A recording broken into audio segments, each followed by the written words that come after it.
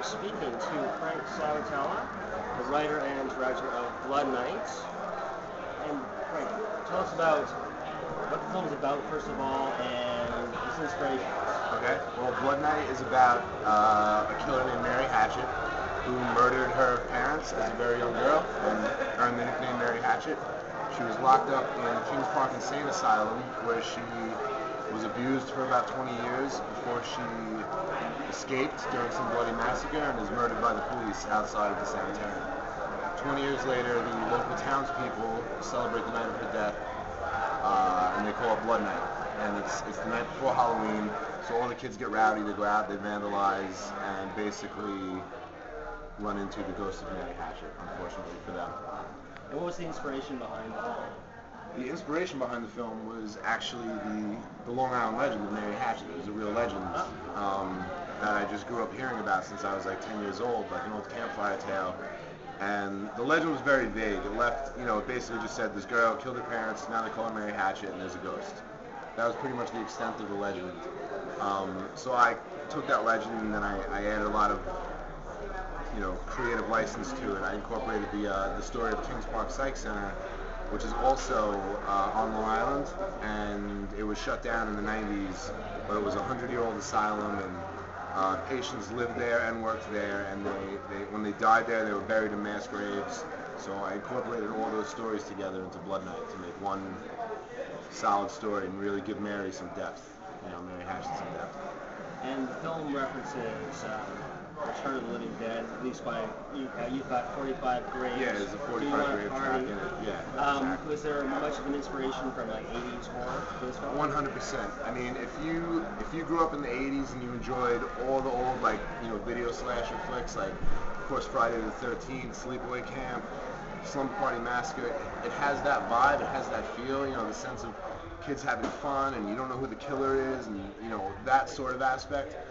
But I wanted to give it a more, it's got a more modern look. You know what I'm saying? So it doesn't look like an old 80s film, but it, it, feels like one. So it tributes one and you know it, it it pays homage to a lot of the cliches of the original slashers, which was an intentional move on my behalf. I wanted to stick to the classic slasher formula, so that people of our generation, the older generation, would really feel familiar with it and, and hopefully enjoy it. You know what I mean? Because those are my favorite movies, the old slashers. Uh, like that, and, and just incorporating the 45 grave track is again just homage to just all the great horror of the 80s, and Return of the Living Dead is one of my favorites. So. And you've got a supporting role from Bill Moseley, of course, Yep. genre superstar. Mhm. What was it like working with him?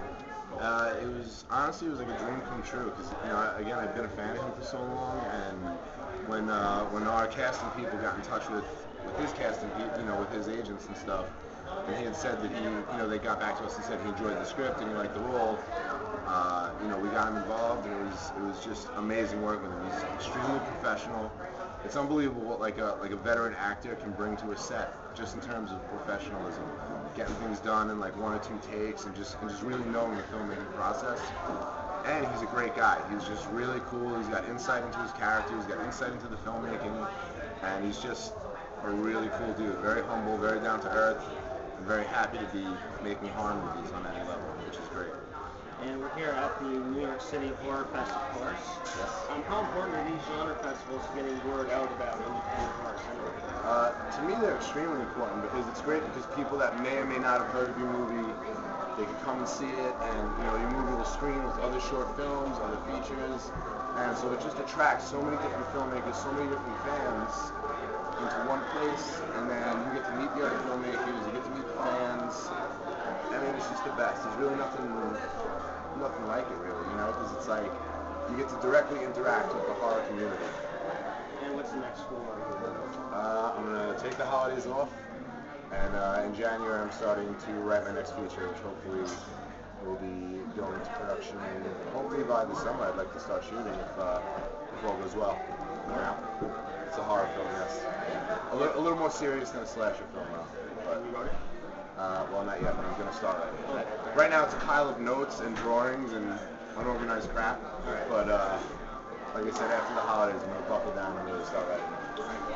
Thank you. And this is Dark Lord Bunnykins reporting from Tribeca Cinemas in Manhattan last night of the New York City Horror Festival.